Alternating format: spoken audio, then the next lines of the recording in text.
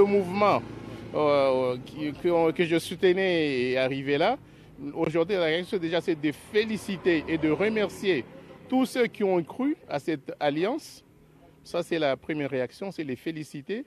Et la deuxième réaction, c'est travailler ensemble avec tous ceux qui croient pour arriver à un résultat que tout le monde espère.